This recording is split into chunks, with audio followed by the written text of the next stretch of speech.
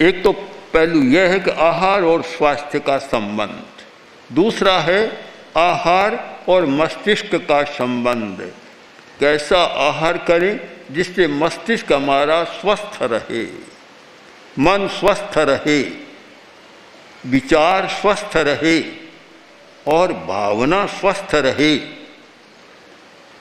एक बड़ा अंतर आता है।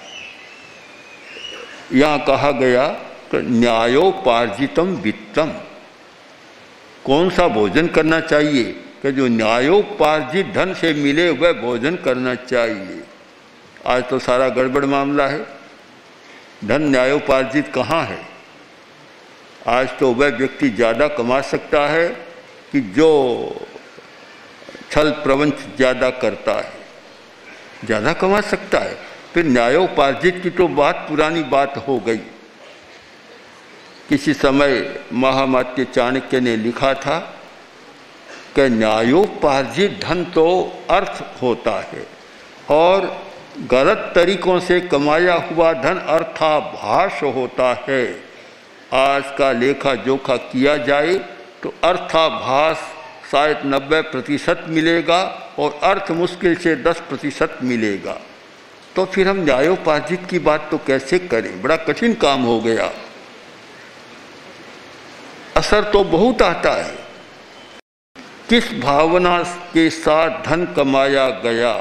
अगर धन कमाते समय भी नकारात्मक भाव है और नकारात्मक भाव से जो धन आया, अवश्य वह कोई न कोई विकृति पैदा करेगा। आज जो कलह बढ़ा है, कदाग्रह बढ़ा है धन को लेकर जो समस्याएँ बढ़ी है, कोई न कोई कारण तो है। परिवारों को देखते हैं, मैंने भी देखा, पचास वर्ष पहले जो परिवार हिंदुस्तान की प्रथम पंक्ति में आते थे और आज शायद कहाँ चले गए, न कहना अच्छा है। कोई न कोई कारण तो बनता है कभी भाइयों में कलह हो जाता है कभी भागीदारों में कलह हो जाता है, कभी किसी में कलह होता है और सारा कारोबार चौपट या नीचे की दिशा में चला जाता है।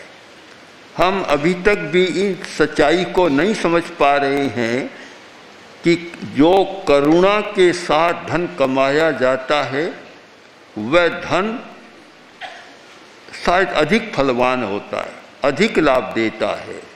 और जिस धन के अर्जन में क्रूर मनोवृत्ति का व्यवहार होता है, दूसरों के प्रति, ग्राहक के प्रति या और किसी के प्रति क्रूरता होती है, जिसे आज की भाषा में कहते हैं शोषण होता है तो वह धन प्रचुर मात्रा में आने पर भी फलित नहीं होता, फल नहीं देता और और विकृति पैदा करता है।